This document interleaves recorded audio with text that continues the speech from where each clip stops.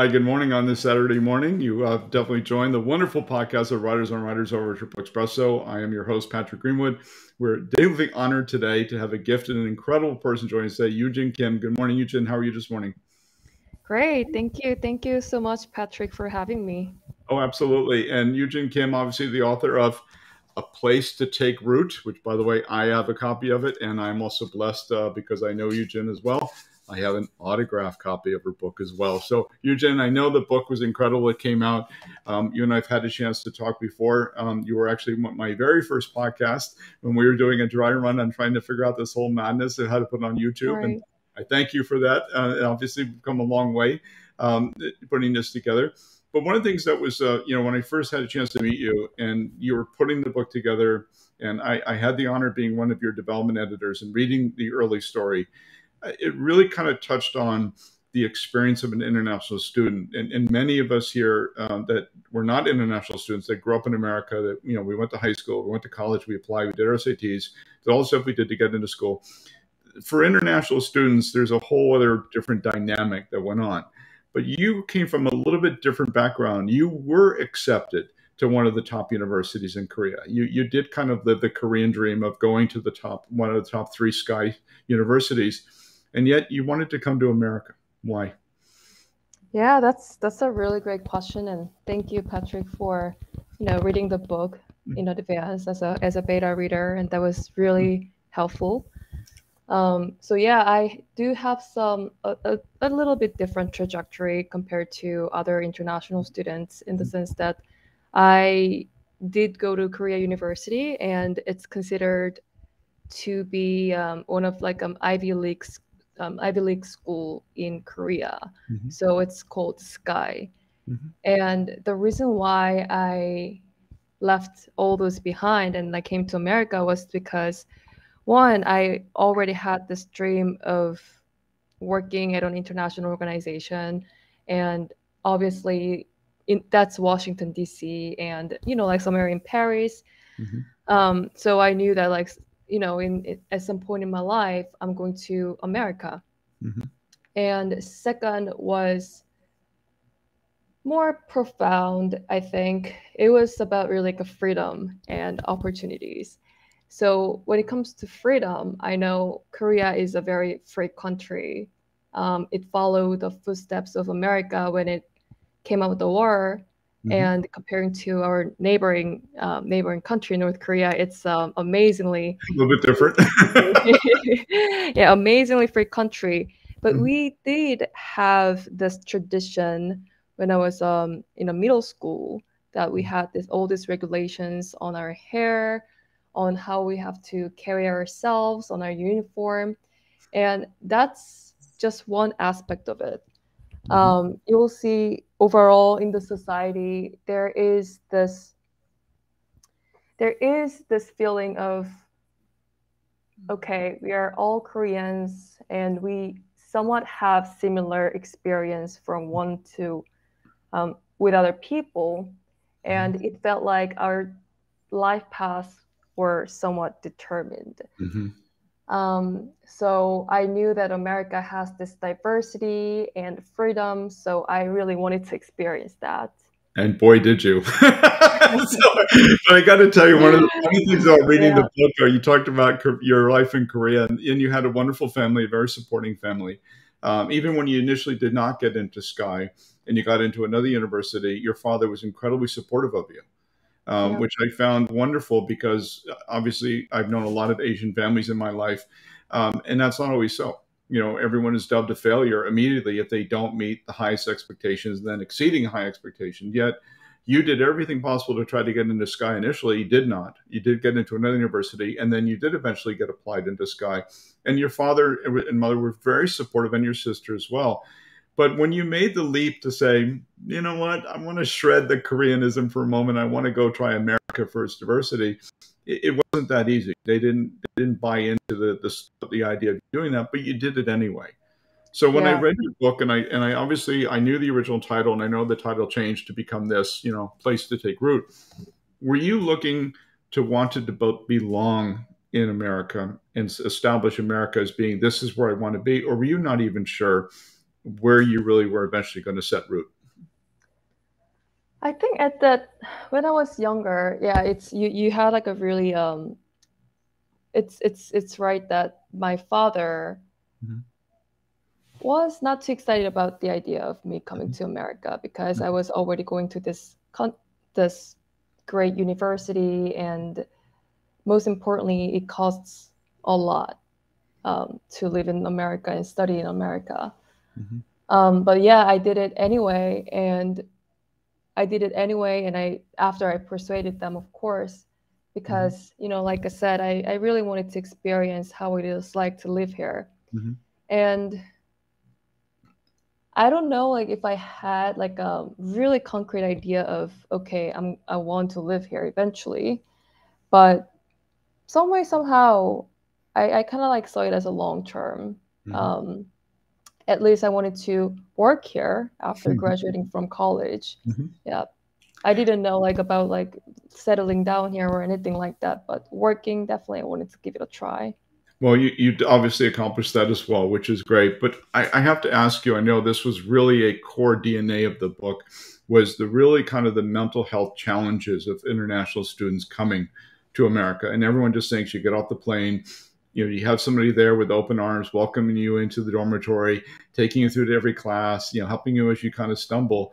And as many people do not realize that international students have an incredibly difficult time not only adjusting to americanism and all the diversities we have here but sometimes even just ordering food or, or knowing where to go. And, and a lot of times there is people that are willing to help but there's also people that will manipulate and there's also people that will obviously try to do things that you know you don't want them to do and yet the other part is that is the language barrier. You know, we assume that everybody that comes from overseas to go to school here knows English or they speak really well. And I think you had some challenges with not only having to speak English, but really just kind of looking around going, how, how do I do all these things? And and I think that led to some real challenges early on for you. Yeah. So I'm incredibly privileged to go to like a very good university in Boston, which is diverse and supportive of international students. And with even with those supports, I felt I felt like you know, like I do I can't figure everything out here. Mm-hmm. And like you said about the language barrier, yeah, in Korea we do have English tests and we do learn English early mm-hmm. on, but it's very hard to be fluent in English, like in mm-hmm. speaking manner, uh, when you just read and like listen. Mm-hmm. And I think speaking is something that you developed by communicating communicating with other people mm-hmm. and being really in that kind of environment. Mm-hmm. So yeah, when I first came to America, I started worrying about even grabbing a, cu- a, a cup of coffee at Dunkin' Donuts yes. and just having like those ang- anxious thoughts in my head. Mm-hmm. So it really is not easy for international students whose whose um, first language is not not English, mm-hmm. and and you know when when you feel like you can't even communicate with other people, mm-hmm. it it's it's very hard that you can't have that self confidence mm-hmm. um, for so long. Well, one of the things I was inspired about your book that I hope other people read and enjoy is that being an American uh, and being white and being a traditional education person, that I assume everything is just going to be right there in front of you. It's going, the books are going to be there, the class is going to be there, the tuition is going to be there. But I think watching and reading your story was about how challenging even simple things are but yet there are people out there that are willing to help. I know you got inspired by working with different professors and being a teacher's assistant and and, and getting yourself around. I mean, you kind of broke this that, that stereotypical mold, to be honest with you, in a really great way because you you are Korean, you came here to study, but you, you turned out that your favorite food wasn't Korean food. What became your favorite food when you came to America? Well, I, I still love Korean food, but I do like Mexican food. I love it. Yeah, I do love Mexican food, which I've never tried mm-hmm. in Korea. Um, it's it's really great to experience this di- diversity and diversity mm-hmm. in cultures and food. Yeah, that's like one thing that I really love in America. When you when you first started in the writing, I remember I had a chance to read the one of the development edits, and I talked about raising your passion level up or making that connection to passion. And one of the things I was hoping for that would have come out in the finished product, which it did, was really about when did you finally feel like you belonged? When did you finally realize, okay, this is the moment in which I really belong here? Because I know you went through a lot of struggles on still trying to find a way to, to you know, come in, in the society and understand and be around people and, you know, and challenges there. But when did you finally say, okay, I, I, I now belong here? Mm. That's a really great question. So, right now I live in Washington, D.C., mm-hmm. and this is a place where um, everyone comes and goes. Um, mm-hmm. We have people all over the world, mm-hmm. and there are not many people who actually grew up in, in DC or in the surrounding states. So, here I do feel like having stronger bond with other people because they understand how it is like to leave home and having to travel back and forth once a year or once once um once or twice a year mm-hmm.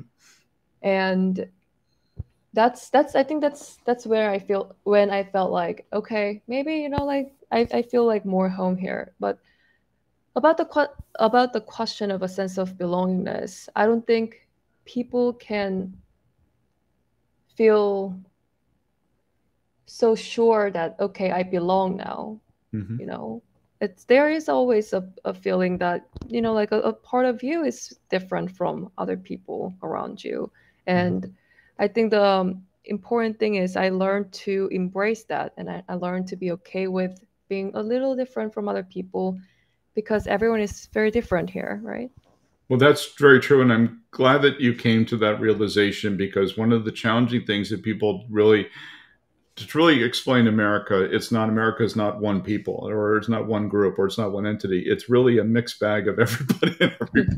we all come from something, right? Yeah. But I think the fun thing is that it's when you finally realize that you've sort of found your tribe or you really realize that you found where you belong in life and what you're doing. America gives opportunities for that. And I think that was yeah. one thing that drove you to come here was you knew that this was a major melting pot of everything, but you had to decide ultimately which part of the pot you want to be part of and and and be, and be comfortable with that. And I think you finally you know became comfortable with the environment that you're in because I know it was a real challenge to go through school and challenges to find work and you know and trying to you know take advantage of the education that you had and it, it just you know sometimes you had to kind of work a little harder but you definitely broke the mold as far as international students because you not only thrived but you also thrived in a way in which you you took advantage of what was in front of you. You know, education opportunities were there, internships, you know, uh, working as assistant, you know, getting involved in programs to really better yourself because you knew that that's what you had to do in order yeah. to find a way here. Exactly, and on on that, you know, like the the reason why my my title is a place to take root, and you you like people can read where is that place to take root? And one of the places is myself. Mm-hmm. And the reason why I say it because you know like you don't really need to look at your surroundings and see mm-hmm. okay do i belong here can i place my roots here mm-hmm. um, you actually root in yourself mm-hmm. your identity and know who you are and then really like wherever you are you'll be okay you know you don't need to feel like you have to have that sense of belongingness and mm-hmm. have to have the kind of validation that you're similar mm-hmm. to other people. I mm-hmm. just wanted to like mention that.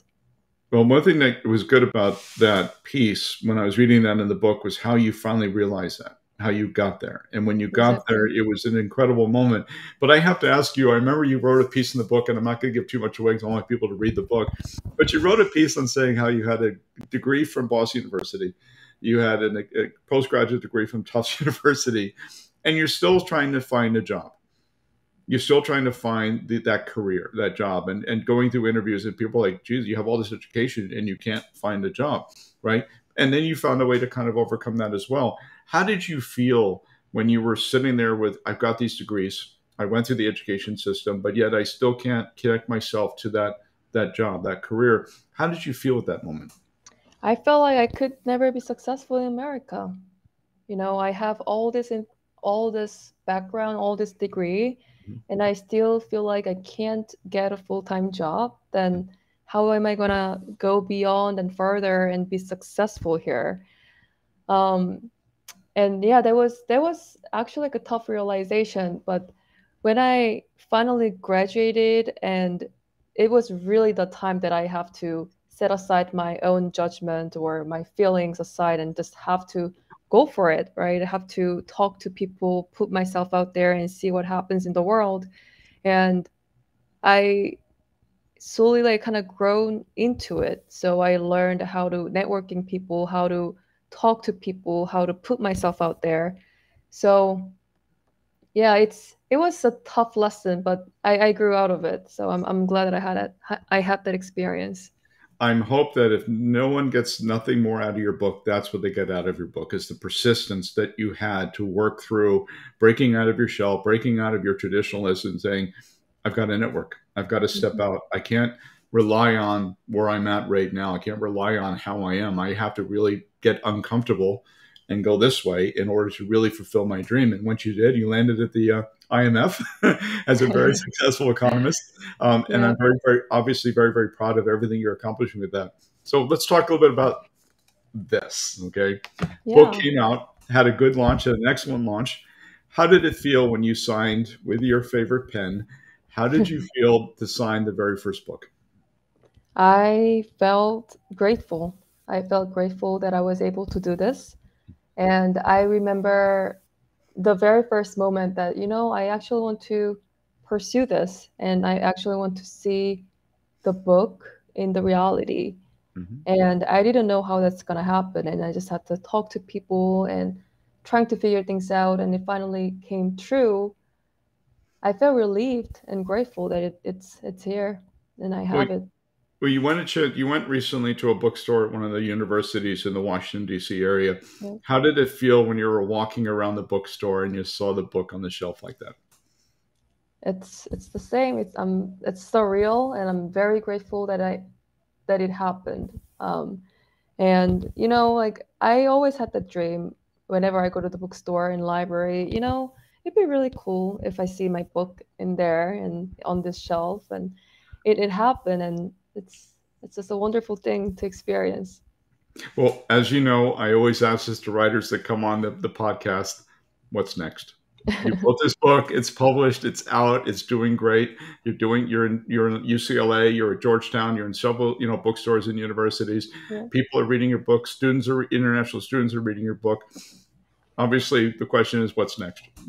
Yeah, that's that's actually a great question. And you know, in my book, it's my book is really the first five, six years of my experience in the US. And it stops when I get my current job. And I want to keep writing this book, like not literally, but you know, I want to write a sequel in the sense that I want to keep pursuing my dream and and um, become who I want to be in America, and specifically that's in economic policy area. Mm-hmm. And I am planning to pursue my um, PhD program in upcoming years, mm-hmm. and hopefully I can be um, an economist who who can really help uh, government authorities and people around the world to to um, solve their their economic problems. So you think by writing this book and helping you come out of your shell, break a lot of the previous stereotypes, kind of going forward and being into where you found root in life is going to help you with this next dream? I think so. Um, it's because by writing the book, I was able to look back and organize my my thoughts about mm-hmm. my like the first five six years in Boston, mm-hmm. and you know i'm still working on all the um, all the issues that i talked about mm-hmm. in in my book mm-hmm. you know identifying yourself ident- um, identifying mental health problems mm-hmm. and maybe self-esteem issues and mm-hmm. there are days that i feel like i feel a little down i feel a little less confident and i do think about okay what did i write in my book you know mm-hmm. am i am i doing what i said that i, I learned Mm-hmm. So this is really helpful um, for myself just to organize my thoughts, but also to keep keep moving and growing. Well, to have a little fun, let's just take you in the future for a little bit. Okay. Now Yeah. you're in your 20s, you become 50s like me, right? You recently posted on social media that you had a picture. I guess you attended an economic forum and you had a famous economist was there. And tell us the story of how you kind of got a chance to go meet him. Yeah, so that happened right yesterday, and mm. it it it was a wonderful experience. So, you know, I I know him because he wrote uh, many textbooks and do many work in this macroeconomic mm. policy area. His mm. name is Olivier Blanchard.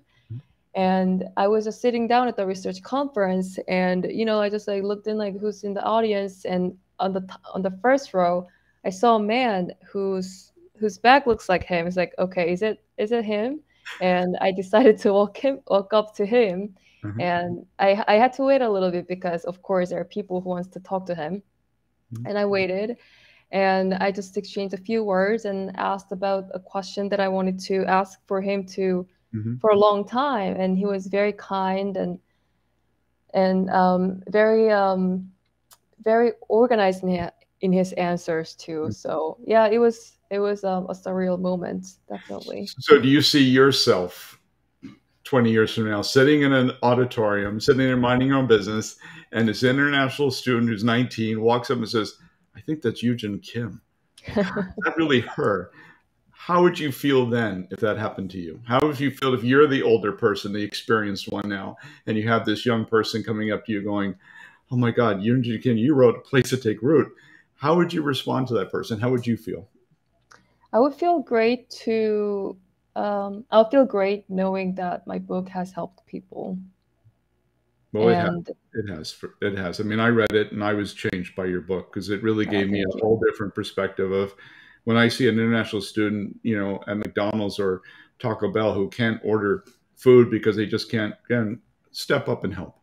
Reach out and Mhm. say, do you want two or three tacos? You know, to make simple things happen because everyone needs a little extra to see through. And that's what makes us great. That's what makes this country great is that we're all willing to come out of our own shells to help others your book really showed that there is great humanity in life, that people are willing to help, and you had great mentors. And now that I've always kidded with you and said, when you become my age, make sure that you don't forget the little people and help some of the younger people out. But I like to see that in a couple of years when you're like that one sitting in the auditorium and somebody walks up to you going, Do you have a minute? I got a question. And and I and I just really was inspired by your book, how you reached out to people that then came and said, Here, let me help you. Let, let me give you some guidance to that as well. Thank you. Yeah, thank you for the kind words. And definitely, um, it's, you know, that's why I, I wanted to write on this specific topic because when I was younger and I, and when I was in the situation, Mhm. I didn't feel like I had the guidance I needed. Mhm. And hopefully this this helps people and you know when that happens in the in the future like 20 years after I'll feel very very good that you know okay this actually did what I wanted it to it to do. So let's talk a little bit about how can people get the book. Is it what's the best way to buy the book? What's the best way to get hold of you? How if someone has questions about the book, how can they get hold of you? Yeah, sure. So you can go to my website um, if you want to con- if you want to contact me. Um, the website is yujinkimauthor.com and you will see the links to LinkedIn or my Instagram and just feel free to email me if you want. Mhm. And if you want to grab a copy, I think the best place to go is is Amazon. Um, it's easier. And if you want to grab an author's copy, there is a section in, on my website to um, purchase purchase one, and and I'll, I'll send the book and, and send right right to you. Well, I also know that some proceeds uh, of your book sales are also going to some causes. Can you talk a little bit about that as well? So I am supporting um, other international students uh, by donating um, by donating copies from in, in the name of my sponsors, um, my supporters um, before pre-sale campaign. Well, that's beautiful. And thank you for contributing back because I know you've learned from your experience. You're sharing it with other people. Your book is amazing. I look forward to whatever you do next. I'm hoping you do an audiobook, uh, honestly, because I think if someone heard your voice and they got to hear your soul speak through that, I think that would be an incredible part as well. Yujin Kim, all the best to you. Thank you for an incredible novel. Thank you for your wonderful friendship. Love to have you on. Whenever the next project comes out, let us know. I'd love to have you back on the podcast again. I'll definitely do. And I had a lot of fun today. Uh, thank you, Patrick, for having me here. And I, it's always a pleasure to communicate with you and and and you know like have fun. Thank you, everyone. Thank you very much for joining us this week's at the Writers on Writers Over at Triple Espresso. This is Patrick Greenwood. We'll see you next week.